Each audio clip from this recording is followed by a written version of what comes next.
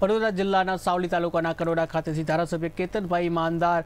ના હસ્તે વડોદરા જિલ્લા વિકસિત ભારત સંકલ્પ યાત્રાનો પ્રારંભ કરાયો હતો આ પ્રસંગે સંકલ્પ યાત્રાનું ભવ્ય સ્વાગત વિકસિત ભારતની પ્રતિજ્ઞા લેવામાં આવી હતી સરકારની યોજના સ્ટોલ દ્વારા નાગરિકોને કેન્દ્ર અને રાજ્ય સરકારની વિવિધ યોજનાઓની જાણકારી તેમજ નવા લાભાર્થીઓની નોંધણી કરવામાં આવી હતી આ પ્રસંગે વિવિધ વિભાગોના અધિકારીઓ અને કર્મચારીઓ સહિત મોટી સંખ્યામાં ગ્રામજનો ઉપસ્થિત રહ્યા હતા